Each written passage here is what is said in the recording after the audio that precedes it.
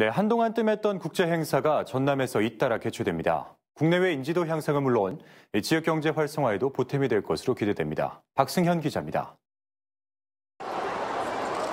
관람객 820만 명이 다녀가며 성공한 대회로 이름을 올린 2012 여수 세계박람회. 도시재생의 새로운 모델로 국제적 명성을 얻은 2013 순천만 국제정원 박람회. 연이은 두 국제행사로 국내외 인지도가 높아진 전남에서 국제행사가 또 열립니다.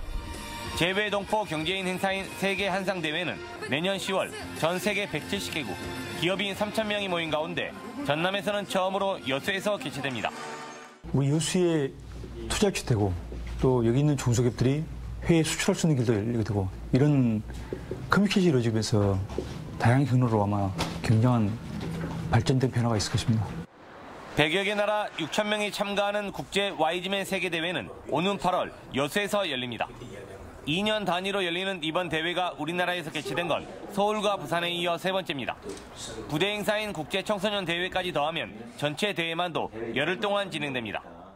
지역 경제 및 여수 박람회당 활성화와 전라남도 MICE 산업 육성에 기여하고 여수와 전남 일원의 관광지를 전 세계에 소개하는 그러한 계기가 될 것입니다.